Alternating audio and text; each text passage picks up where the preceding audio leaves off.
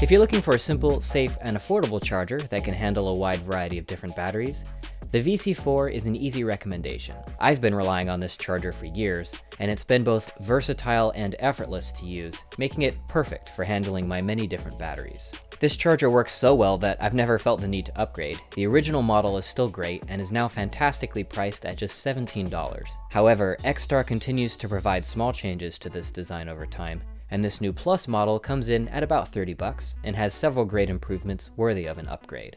The most notable features include USB-C connectivity, faster charge speeds, adjustable current, battery storage and grading modes, and bigger charge bays for greater cell compatibility. The VC4 is a straightforward charger with four spring-loaded bays that allow for both large and small battery types. A simple LCD screen provides information about the cells and charging operation, which can be controlled by the two front buttons. A USB-C port allows the charger to run off a variety of sources. This charger automatically detects and charges both nickel metal hydride and various lithium-ion chemistries, and can handle everything from small 10440 cells to large 26650 and 21700 size batteries. And the slightly larger Plus model now allows long protected 21700s to be charged. Unfortunately, it's still just barely too short to fit 26800 cells. The charge current of the VC4 Plus has been increased to 3 amps with Qualcomm Quick Charge compatibility. Unlike the older version, current is not affected by the specific bays in use. Each is fully independent this time around. However, the more bays are in use, the less each can output, and total current is still limited compared to some other chargers on the market. So this isn't great if you're looking for rapid charge speeds. Using this thing is dead simple. Just plop your cell into any available bay and let the VC4 figure out the rest. It determines the chemistry and current charge level and will charge appropriately to maintain optimum battery health. The large LCD display on top is informative yet easy to read. Four main sections display the charge level, charge current, added battery capacity, and battery chemistry for each individual bay. Above each bay are four indicators that light red while charging and green unfinished. The two buttons allow controlling the various functions of the charger. The current button on the left cycles through the charge current levels with a simple press. Pressing and holding this button turns off the display backlight.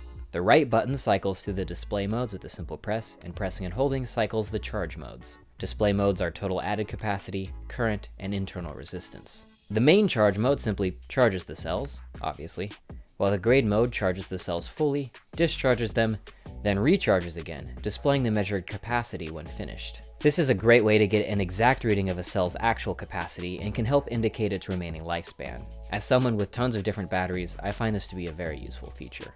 The last mode is Store, which is my favorite new feature. In this mode, the VC4 will only charge the cells up to 3.6 volts before stopping, which is the level at which the batteries are most comfortable. Leaving unused or lightly used cells at this level helps reduce strain and extend overall lifespan, which is a lifesaver if you have tons of batteries that can't be used all at once and is ideal if you're planning on storing these cells. Personally, I charge all of my cells in this store mode, and then leave them in my lights this way, only charging them fully if I know a light is going to see more serious or prolonged use. Finally, this charger does have a cell revival feature that helps to bring back potentially dead cells. This is all done automatically, so popping an over-discharged cell into one of the bays will cause the charger to start attempting a revival. It will cease the attempt and display an error if it determines the cell cannot be revived. I haven't tested it on this model, I am not keen on intentionally over-discharging cells, but I have done it on my older VC4 and it worked quite well, so it's a great feature to have. The charger is capable of delivering up to 3 amps into a single bay, but only a single bay at once.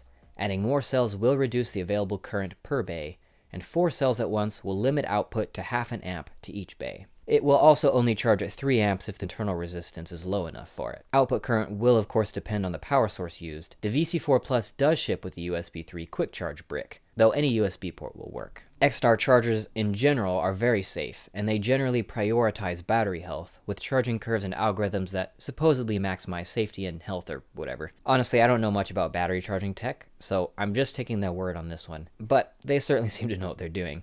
The charger will taper off charging current near the end of the cycle, um, and it can be quite slow towards the end. It can take a while to actually finish once the battery is near full. Supposedly, the VC4 is also made of a flame retardant material, which I guess is a nice bonus. The plastic material used here is both solid and lightweight, so the overall construction is nice. There are two issues I have with the operation of this charger. The first is that, when first plugged in, charging rates default to the highest level of 3 amps, and always reset when the charger is powered off. This is just annoying to me. I prefer lower charging current to preserve battery health, and I don't like having to adjust it every time I plug the charger in. So this one issue prevents it from being truly mindless plug and play for me. Not the end of the world, but it's something that could be improved upon in the next iteration. The other issue is the charger sometimes fails to correctly identify the voltage level of freshly inserted batteries. This fixes itself after a few seconds, but it's kind of annoying as it sometimes prevents charging when set to storage mode, as the charger will think the batteries are already at the appropriate level. The good news is that when this does happen, it always rates the cells higher than their actual charge, so at least it doesn't overcharge anything. The maximum total charge current could be higher, 500 milliamps per bay is fine, but it would be nice to have at least 1 amp per bay. I'm ignorant here, but I believe this would require a true USB-C to C cable with power delivery, which would raise the price somewhat, but I feel it would be a great option to have USB-C PD capabilities, and then to have both USB-C to C and C to A cables included in the box for more versatility. I can't complain much though, this is capable enough for me and is a great value as is. Finally, though not exactly a flaw, I do wish the charger had an actual power switch. The display can be turned off, but the charger itself must be unplugged to power down. I guess a power switch isn't necessary, but it would certainly be nice.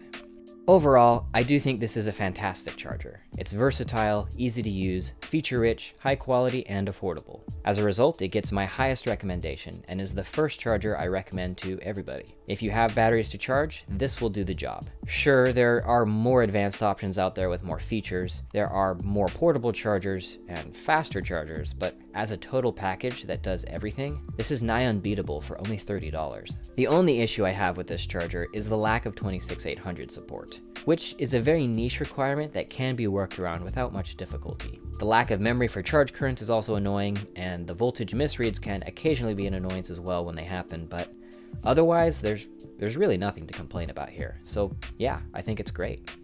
Of course, this charger was sent to me free for review, but I was not otherwise paid to make this video, and the opinions expressed here are genuine, but you don't have to believe that if you don't want to.